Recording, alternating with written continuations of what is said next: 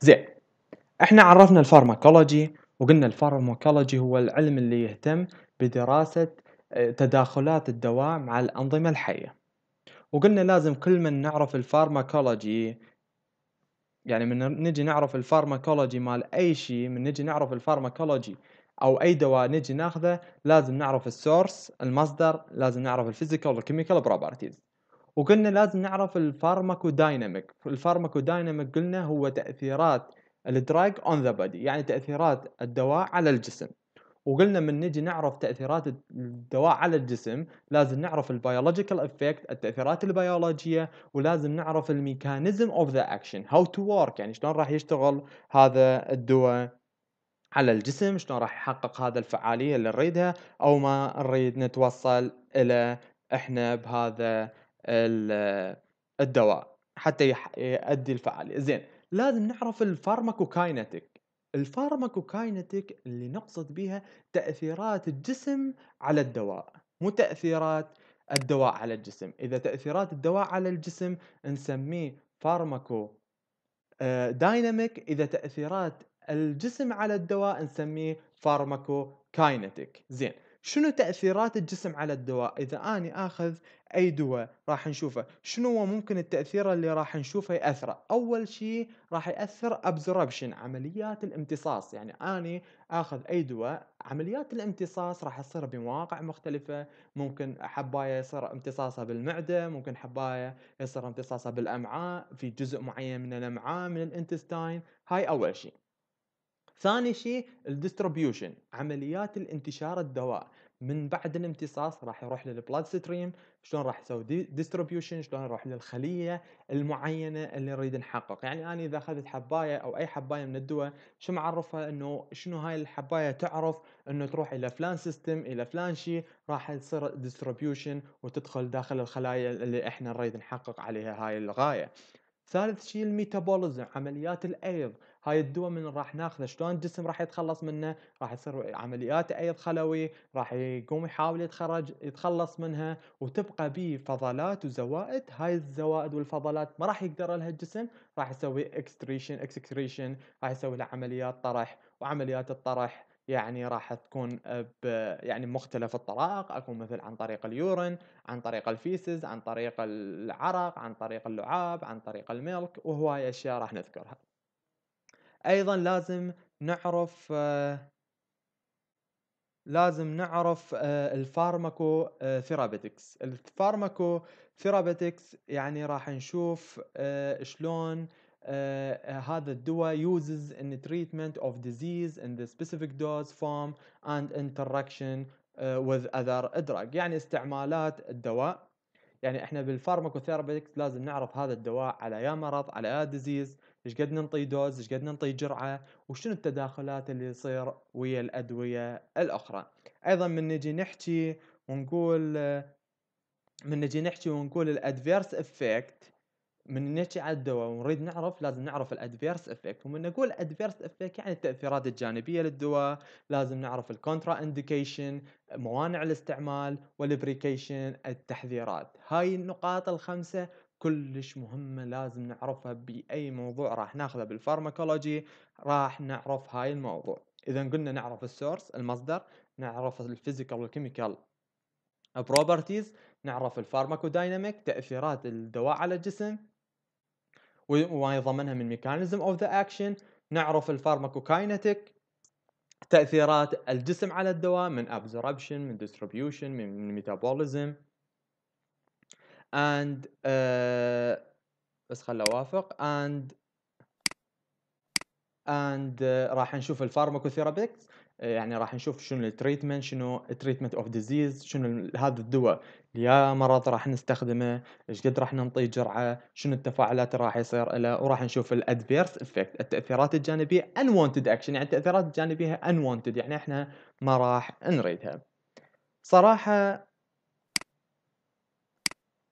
صراحة إحنا بدنا نحكي عن ال drug، ال drug هو الدواء، زين هو شنو الدواء؟ خلينا نعرف شنو الدواء، الدواء هو ال substance المادة. either obtained naturally science plant animal يعني هو عبارة عن مادة ممكن نحصلها naturally طبيعيًا من بعض النباتات، أكو بعض النباتات سويناها أدوية، بعض الحيوانات استخلصوا منها أمور وسووها أدوية. Or synthesize يعني مصنعة هذه المواد. and this substance have ability هذه المواد آآ إلها ال القدرة to influence التأثيرات of the physiological and biochemical activity of the cell هاي ال المواد هاي المواد اللي إحنا دا ناخذها drug عندها القابلية حتى تأثر في فسيولوجيًا وbiochemical activity of the cell حتى تغيّر فعالية الخلية ونوصل إلى المستوى المطلوب، يعني إحنا كلّه قلنا الجسم عبارة عن physiology فهذا الدوا راح يغيّر الphysiology مال الجسم حتى يوصل إلى اللي نريده. زين. آآ بس أكو مشكلة يمكم؟ أكو مشكلة بالصوت؟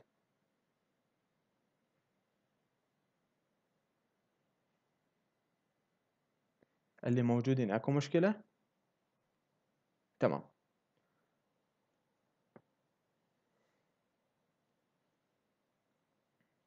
حلو. زين.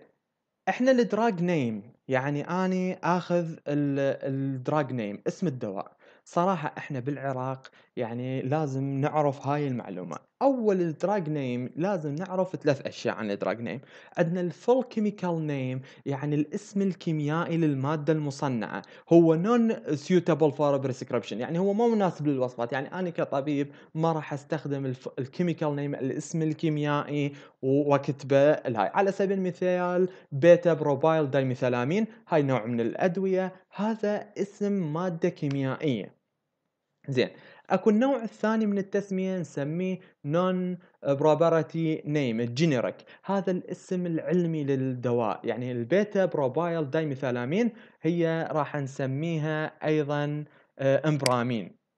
هي نفسها كاسم علمي، إذًا الاسم ال chemical beta propyl dimethylamine ال non proprietary هو الإمبرامين، لكن ال proprietary name اللي راح نستخدمه بالعراق بال prescription بالوصفات هو راح نستخدم ال company الاسم التجاري واللي نسميه آآ Tofranil يعني هذا الشيء، يعني بالمادة الكيميائية اسمه beta propyl dimethylamine بالاسم العلمي راح نشوفه هو آآ نستخدمه كاسمه إمبرامين بالاسم التجاري واللي يستخدموه أطبائنا نشوفه مثلًا على سبيل المثال توفرانايل هو يعني حسب الماركة. بالعالم كله بأجمع العالم راح نشوفه يستخدمون الgeneric الgeneric اللي يعني راح يشوفون نستخدمه يعني كأطباء بالعالم يستخدمون الاسم العلمي. إمبرامين ما يهمه شنو الشركة، ما يتعامل ويا شركة، أنت كطبيب بالخارج إذا تريد تصير ما راح تكتب الاسم الماركة، مثلًا على سبيل المثال إذا تأخذ فد باكيت دوا وتروح تنطيه للصيدلية بحالنا بالعراق، يقول أني عندي بس غير نوعية، هو يعرف المادة اسمها إمبرامين لكن الشركة المصنعة إلها تختلف، فيقول أنا عندي غير نوعية، هو نفس المادة الفعالة لكن هو عنده غير شركة وهذا هو اللي يستخدموه بالعراق. زين. الdrug receptor interaction. أني أخذت الدوا، هذا الدوا شنو شلون راح يروح يشتغل إلى الsystem المعين، إلى النظام المعين اللي أني أريده، شنو اللي راح يستقبله، شلون راح يتم هذا، صراحة الdrug راح إلى م يعني ريسبترات مستقبلات خاصة، يعني أني كدواء أخذته راح يكون أكو مستقبلات خاصة، هاي المستقبلات هي اللي راح يجي الدواء مستقبله لفلان مادة ويتفاعل منها interaction. خلّي أعرف بالبداية هو شنو ال receptor، ال receptor هو specialized target macromolecule. هو عبارة عن مستقبل specialized متخصص macro molecule جزيئاته macro، macro يعني كبيرة لأنه ال micro is small macro is very big. فهذا يعني إنه هو آآ يعني كبير لأنه ال macro molecule ال يعني ك receptor ات هو يكونها البروتينات، والبروتينات مثل ما نعرف هي عبارة عن macro molecule موجود ال receptor ك receptor أو المستقبلات. هاي موجودة in cell surface يعني موجودة بال cell surface على سطح الخلية أو موجودة intracellular داخل الخلية، يعني ال receptor ات موجودة أما داخل الخلية أو تكون على سطح الخلية، راح يجي الدوا راح يسوي bind يرتبط الدوا مع ال receptor وينطينا ال pharmacological action التأثير اللي نريده الاكشن مال ال pharmacology اللي راح نحتاجه ان نوصل إليه. زين ال drug receptor interaction أنا بدي أقول إنه الدواء راح يجي راح يروح لل receptor راح يسوي interaction راح يسوي تداخلات راح يسوي combination ويتكون الهيكل الدواء ويا هيكل ال receptor راح يتكونون ويختلطون يسوي combination حتى نوصل للفعالية اللي نريدها. فالعديد من الأدوية يعني تظهر appear to extend their effect by combination with structural component يعني هي تد يعني تنطينا التأثيرات بال يعني ال combination يصير combination يعني اختلاط structure مال الدواء ويا structure مال ال receptor المستقبل وهذا قلنا انه ال receptor ات موجودة أما بال cell membrane or within the cell. زين شنو property properties of receptor يعني هذا ال receptor شنو هو؟ خصائصه؟ هذا ال receptor بكل الجسم هو protein in structure تقريبا معظمه بروتين هو عبارة عن بروتينات selectivity اختياري يختار دواء مثلا إذا أخذنا دواءين يعملون على نفس ال receptor فال receptor هو له selectivity هو يختار sensitivity هو حساس و specificity يعني ال receptor متخصص لاستقبال آه، مادة معينة أو مادتين أو ثلاثة ما ممكن أن تجي مادة أخرى وراح ترتبط به أنواع ال receptor ات الموجودة بالجسم هو channel link receptor عبارة عن قنوات وهي راح ناخذهم بالتفصيل بس خل اعرف اعرفوا اسماء. عندنا G protein coupled receptor أيضا عندنا نوع من البروتينات هو عبارة عن G protein عندنا kinase link receptor عبارة عن kinase link receptor واكو ريسبتر لينك تو ذا جين ترانسكريبشن عبارة عن جينات نووية يعمل عليها هذا ال receptor. هذا بالنسبة ل آه، يعني بالنسبة لل drug receptor interaction. زين من يجي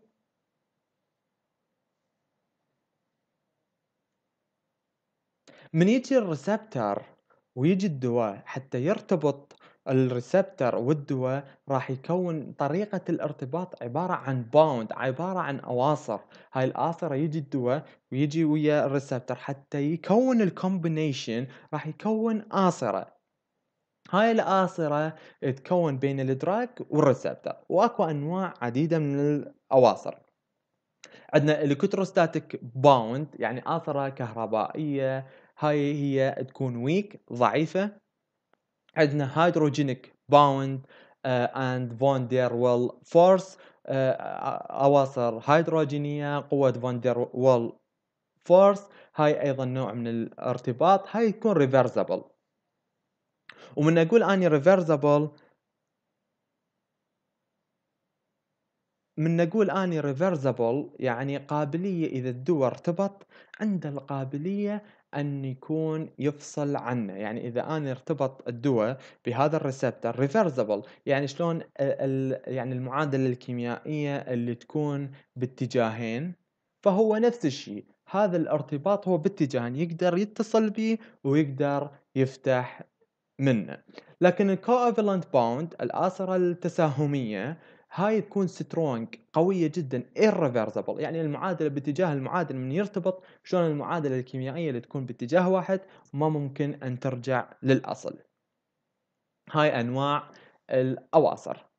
عندنا فد ملاحظة نقول ال drug الأدوية which bind through the weak bond to the receptor are generally more selective. صراحة الأدوية كلها اللي تكون weak يعني ارتباطها weak هي تكون عندها selective selectivity يعني اختيارية تقدر ترتبط هواية من ال receptor ات لأنه آصرتها ضعيفة تقدر ترتبط بضعف وتقدر تفك منها. أني ك pharmacology أه يهمني أعرف هاي المصطلحات يهمني أعرف شنو ligand شنو affinity شنو potency شنو efficacy هاي المصطلحات لازم أعرفها لأنه أنا راح أقول بالمستقبل المحاضرات الجاية أقول الدواء الفلاني عنده potency قوية عنده affinity قوية عنده efficacy قوية. هاي الأشياء راح أذكرهن باستمرار.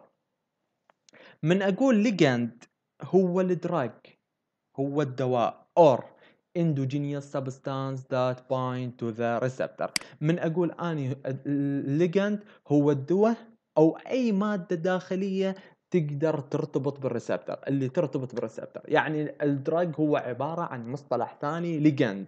ال ligand هو الدواء اللي يرتبط بال receptor هذا نسميه ligand. تمام؟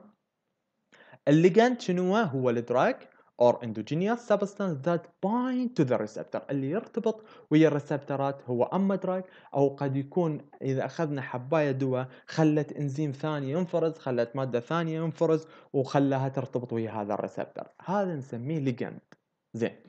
ال affinity هي ability of the ligand to combine with its receptor. يعني قابلية قابلية ال ligand يعني الدواء حتى يسوي combination اختلاط مع ال receptor هاي نسميها affinity فكل مادة أو كل دواء إلى قابلية مختلفة عن الدواء الثاني حتى يرتبط ويا ال receptor فهذا راح نشوفه راح نشوفه يعني كمصطلح. اذا ligand هو drug or endogenous substance. الانفينيتي ability of ligand to combine with its receptor حتى يختلط الليجند مع الريسبتر الموجود زين البوتنسي measurement or measure of the amount of the ligand that require to produce given level of effect يعني إيش قد يعني إيش قد إحنا نريد من ال ligand إيش قد نسبة ال drug اللي راح ناخذها اللي راح توصل لل receptor حتى نوصل للمستوى المطلوب من ال effect من التأثيرات. يعني إذا أخذنا مستوى قليل إذا ال drug إجا نسبة بسيطة من هاي النسب فراح نشوفه هو راح يكون يعني ما راح يوصل للمستوى التأثير فهو نسميه potency يعني amount of the ligand required to produce given level of effect. يعني كل مادة لها potency مختلفة. يعني أكو مادة خلينا نقول ترتبط خمسة من ال ligand ات وراح تنطينا المستوى الفعال أكو مادة ترتبط عشرة من ال ligand ات وتنطينا المستوى الفعال. زين. حتى يبدي يشتغل ال receptor. أكو شيء ثاني نسميه ال efficacy. هاي ال efficacy هي ال ability of the ligand to provoke of cellular response after combination with its receptor depend on number of the drug receptor complex form. صراحة ال efficacy هو قابلية ال ligand to provoke cellular يعني هذا ال ligand اجى وارتبط بال receptor. راح إيش قد له قابلية provoke حتى يحث ال cellular response الاستجابة الخلوية بعد ال combination بعد ما صار ب combination اختلاط وتكونت الأواصر بيناتهم. فهذا اللي كان عنده قابلية حتى يحث ال cellular response وينطينا الاستجابة المناسبة. مع ال receptor. وهذا يعتمد depend on number of the drug receptor complex. إيش قد عدد من ال receptor ات صار بها complex اختلاط ويا الليجندات هاي المصطلحات الأربعة. إذا أحد عنده سؤال عليهن خلي يكتب لي إياهن بالتعاليق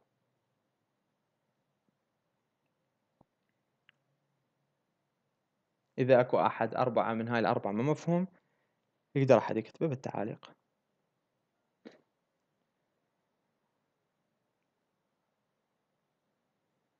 نعم.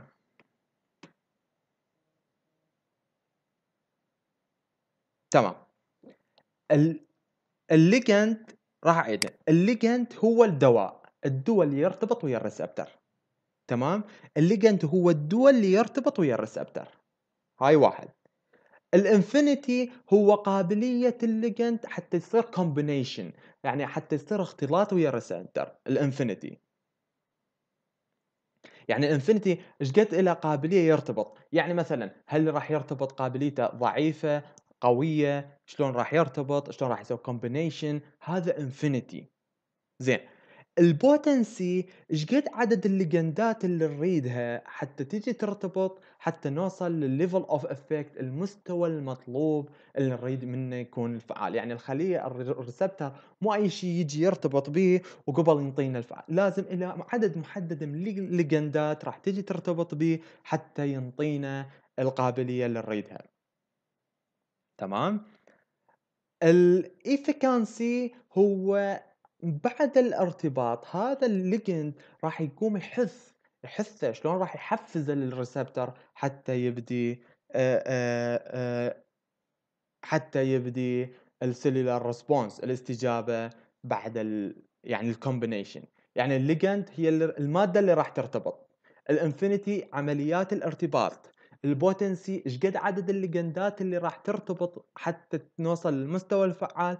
ال efficacy قابلية هاي ال ligand ات بعد ما وصلت المستوى الفعال حتى ينطينا ال combination وينطينا ال cellular response الاستجابة الخلوية. هاي بالنسبة لهاي المصطلحات. أيضا الأدوية راح نقسمها إلى agonist antagonist partial agonist and inverse agonist. According to the action on the cell receptor. الدكتور يعني عدد عدد الأواصر بالنسبة لل affinity مو عدد الأواصر لأ عدد ال ligand ات. عدد ال ligand ات يعني ال potency إيش كم ligand إيش كم مادة إيش كم ligand. ال ligand قلنا هو drug. إيش كم drug راح يجي يرتبط حتى يوصل للمستوى الفعال من ال من ال effect من التأثيرات. عدد ligandات. نقول measurement amount of ligand عدد ال ligandات. إيه بس الحباية اللي راح ناخذها هل هي إنه راح تجي حباية وتاخذ الريسبتر راح تتقسم المادة الفعالة وتتغير بالجسم وتتغير إلى ليجندات أو اشياء تجي ترتبط ويا ريسبترات قابل حباية راح تجي وتدخل إلى ريسبتر معين. طبعا راح تتحلل الحباية وداخل المادة الفعالة وتتغير كيميائيا وتروح للجسم وتنطينا الفعالية. زين. الدراك الدراك راح نقسمه إلى أيضا تقسيم ثاني agonist anti agonist parietal agonist and inverse agonist. حسب action on the cell receptor حسب يعني action فعاليته على الخلية على السيل ريسبتر على الريسبترات الاغونست هو a ligand that produce appropriate response when it's bind in receptor. يعني عنده affinity and efficacy. يعني ال ligand ال agonist هو عد ال ligandات راح تيجي ترتبط تنطي appropriate response استجابة معينة فعنده ال efficacy مضبوطة وال affinity مضبوطه يعني قابلية الارتباط مضبوطة وال efficacy والحث مضبوط فانطانا ال appropriate response هاي ال agonist هو ligand يجي يرتبط بصورة واضحة قابليته عنده ability to the combination وقابلية لل provoke للحث وينطينا ال cellular response وأعلى يعني أعلى يعني استجابة راح ينطيها. ال partial agonist هو ال agonist cannot elicit the same maximum response as full agonist. يعني قلنا هو ال agonist راح ينطي ال appropriate response ال partial يعني جزئي راح يوصل ويرتبط لكن cannot elicit ما راح يقدر يصل إلى ال maximum response يعني أعلى استجابة مو مثل ال agonist ال agonist راح ينطي أعلى استجابة ممكن يوصلها. فهذا راح نفسره بال affinity عنده قابلية ارتباط لكن ال low of efficacy قابلية ال efficacy للحث راح تكون جدا قليلة. هذا بالنسبة لل partial ال inverse agonist عكسي. ال ligand ال agonist راح ينطي appropriate response ال inverse هو ligand راح يرجي يرتبط produce effect which is specifically opposite to this of agonist and affinity for a يعني ال inverse agonist راح يجي يمنع ال agonist راح يجي يرتبط وال specific لكن opposite to the معاكس لل يعني نفس ال receptor راح تجي المادة ال inverse agonist معاكس له راح تفتح الارتباط مالته وعنده قابلية ال affinity جدا قوية. قدرة هذا ال ligand وهذا الدواء له قدرة كلش قوية راح تفتح ال agonist هو يعني عنده affinity جدا قوية. ability of the ligand to combination أقوى من ال agonist وراح يفتحها أما ال antagonist فهي ligand which bind to the receptor but but do no initial cellular response. ال antagonist هي راح يجي يرتبط يعني ما عنده لا عنده affinity بس ما عنده نهائي efficacy هاي نسميها anti أكو مشكلة بهاي الأربع تصنيفات؟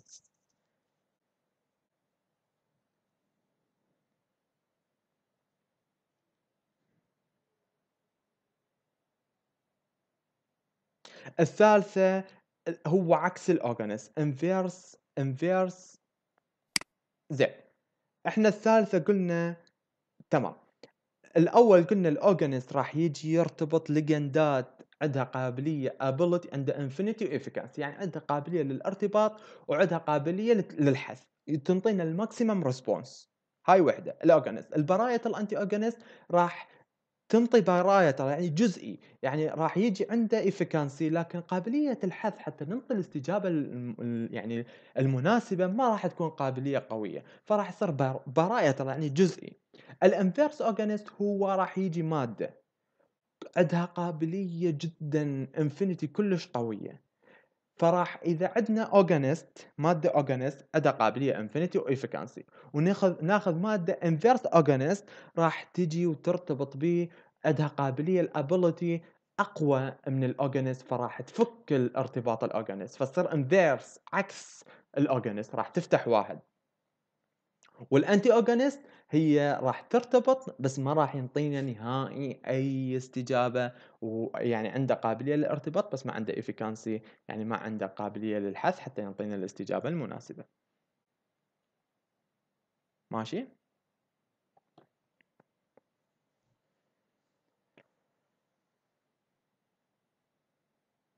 آه النوع الثاني البراية الأجونست هي الأدوية صراحة كلش قوية اللي تكون براية الأجونست بس إحنا مثلًا آآ آآ قد تكون مادة كلش قوية آآ كلش فعّالة بالجسم، إحنا ما نريد تنطي هاي الفعالية الكبيرة اللي إنه مادة كلش قوية إذا انطيناها للشخص المعين وراح تنطينا الفعالية أكبر من قابلية الجسم، فراح يتضرر الreceptor راح يتضرر الاستجابة، ما راح نقدر.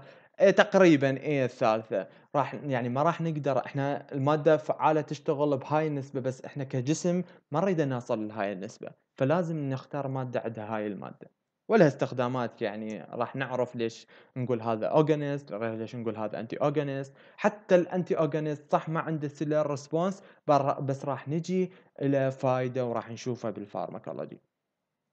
الinverse agonist تقريبًا، تقريبًا حتى نلغي استجابة أحد ال المادة الثانية تقريبًا إيه. ممكن.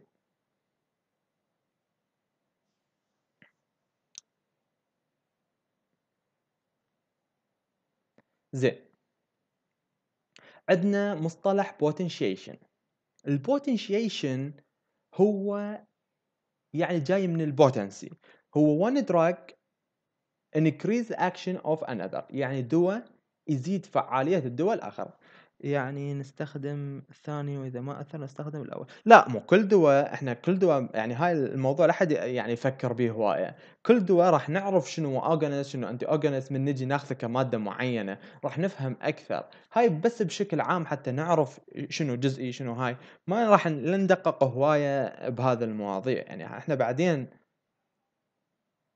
الرابع الهدف من عنده آآ راح أيضًا يستخدموه بإلغاء الفعالية الأولى، مثلًا آآ يعني هو أهم من anti agonist أيضًا راح يلغي قابلية الاستخدام الأول، راح ناخذ هواية خصوصًا راح ناخذ ب آآ block ال cardio بالهاي يعني لا تدقق هواية وراهن، لأنه إحنا من تاخذ المادة الفعالة أو المادة الحقيقية أو الدوا الحقيقي راح من أحكي لك عن ال mechanism of the action شلون يشتغل راح تفهم شنو agonist شنو antagonist هاي بشكل عام آه إحنا هاي المحاضرة general ما راح ندقق شنو دوا هذا ليش؟ ما راح نفوت بهاي التفاصيل، من نجي ناخذ المحاضرات الجاية إن شاء الله نلحق بهاي التفاصيل حتى نو نقدر نوصل للفكرة، أما هسه شيء مبهم ما راح تقدر أن توصل أقدر أفهمك عليه، لأنه كل مادة ولها شغلها ولا فائدتها، يعني ماكو فد شي قاعدة عامة.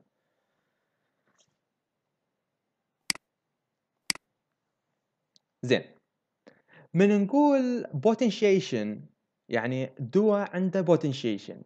هو one drug increase action of another drug. يعني أكو فد مثلا أكو فد دوا معين ناخذه ونجي ننطيه دوا حباية ثانية. هاي الحباية الثانية هي تزيد فعالية الحباية الأولى. هذا نسميه potentiation. زين عندنا مصطلح هاي مصطلحات لازم نعرفها. بالليسيبو البليسيبو هو inactive substance that has no treatment value give to the psychological uh, need patient for drug therapy. هي عبارة عن مادة غير فعالة ما لها أي treatment value يعني ما لها أي قيمة علاجية. ننطيها لل psychological patient آه، for drug therapy أكو بعض المرضى راح نشوف هذول المرضى عندهم حالة نفسية إنه لازم ياخذ هاي الحباية يلا يرتاح. وهم بالحقيقة هو ما يرتاح وهو نفسيا يرتاح. فمادة البليسيبو هي عبارة عن مادة مثلا أنا مدمن على آه على البنادول. خلينا نقول أنا مدمن على البنادول وإذا ما أخذ حباية البنادول آه أنا آه يعني أصير بحالة psychological يعني آه نفسية. فالبلسيب والشركات إيش تنتج؟ تنتج مثل مادة مثل شريط البنادول بس ما بيه مادة فعالة، عبارة عن فقط مادة هذه البيضاء اللي مغطية الغشاء بس ماكو أي مادة فعالة، فننطيه بالليسيبو هو يباع على الشريط هو نفسه نفس المادة نفس الشكل بس ما بيدي أي مادة فعالة، هو راح ياخذ الحباية راح يرتاح نفسيًا بس صراحةً هو ماكو أي شيء فعبارة عن للمرضى اللي عندهم psychological أو إدمان على بعض الأدوية نقدر نخدعهم بيها. بالعراق غير موجود يعني ما ما سامع أنا بالعراق موجود.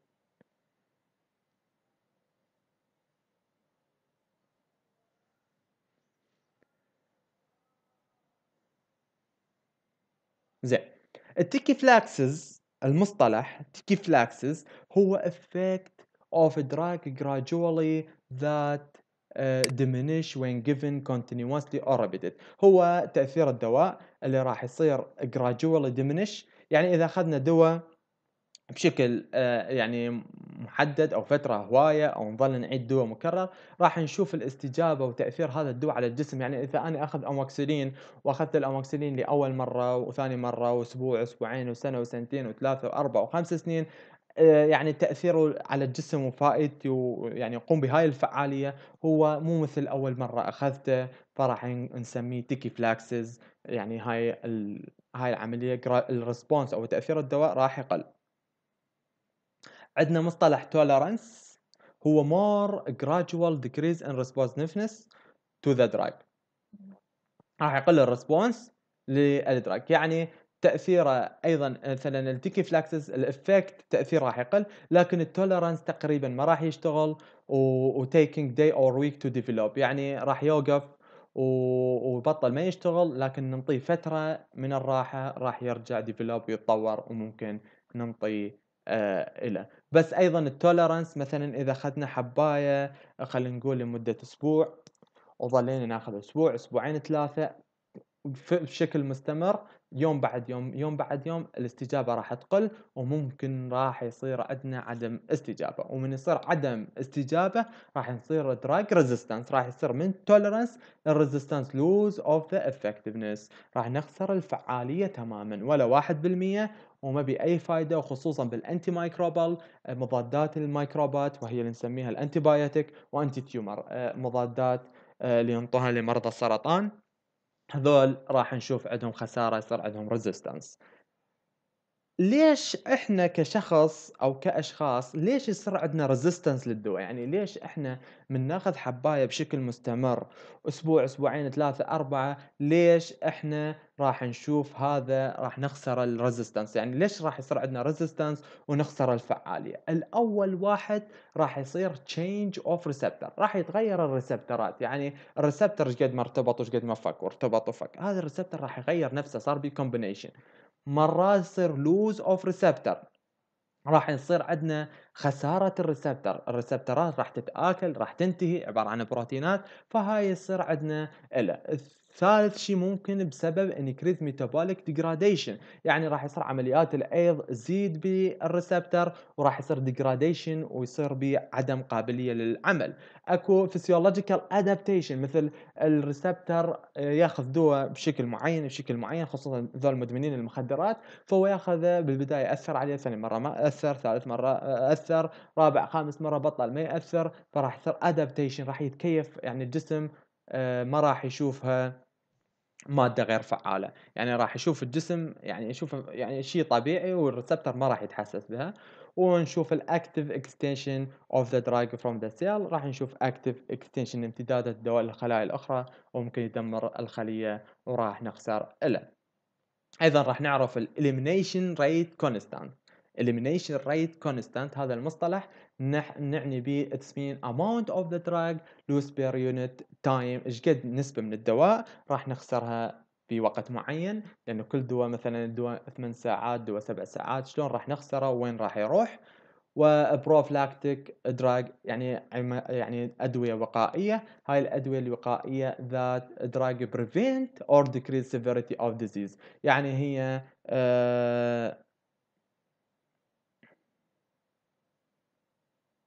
تمام.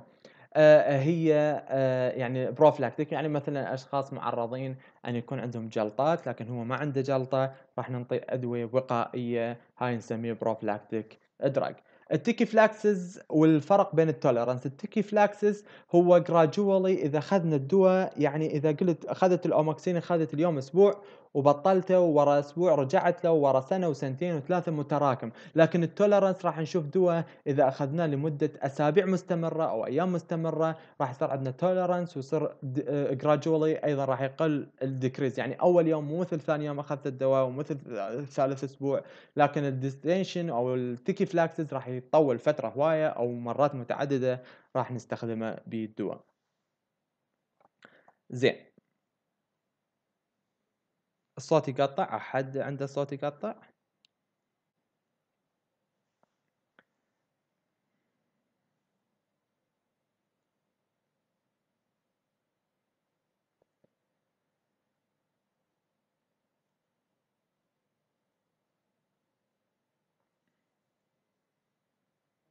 تمام، ما أعرف أني يعني المشكلة مو من يمي، ما أعتقد ما عندي مشكلة حاليًا أنا، يعني حتى فاتحة بتليفون ثاني أسمع الصوت واضح. تمام. تمام. زين. آخر موضوع راح نحكي بالجزء الأول من هاي المحاضرة راح نحكي عن الfactor that affect drug action العوامل اللي راح تغيّر آآ آآ أو تأثّر على فعالية الدواء. أول عامل راح نحكي عليه therapeutic dose يعني إيش قد ننطي جرعة فال average dose given to the adult patient to produce therapeutic effect. يعني أول عامل حتى ننطيه الأكشن الفعالية إيش قد راح ننطيه dose إيش قد راح ننطيه؟ جرعة. عندنا العامل الثاني ال maximum. ال Maximum tolerated dose يعني ال Maximum هي Maximum يعني أكبر جرعة ممكن ياخذها الشخص، وهو يكون safely بشكل large dose of the da drug that can be taken safely. أج أكثر جرعة ممكن ياخذها وهو آمن. عندنا الinitial dose الجرعة يعني مثلًا نقول أول جرعة ياخذ خلينا نشوف نقول مثلًا 500 أموكسيلين ثاني أو ثالث يوم نغيره إلى 1000 وغيرها من الأشياء، فهاي أول جرعة ممكن نشوف هواية من الناس راح ينطون أول جرعة مختلفة عن الجرعة ال اللي يعني الأخرى. الmaintenance dose الجرعة الثابتة مثلًا dose required to maintain the therapeutic effect يعني إيش قد maintenance يعني ثابتة جرعة ثابتة أقول له أخذ فلان دوا 10 مليجرام آآ أميلودوبين أو أي شيء لمدة 10 مليجرام لمدة هاي يومية بشكل ثابت جرعة ثابتة. وtoxic أو lethal dose dose that produce toxicity or death يعني الجرعة السامة أو القاتلة اللي تؤدينا إلى آآ مقتل الشخص.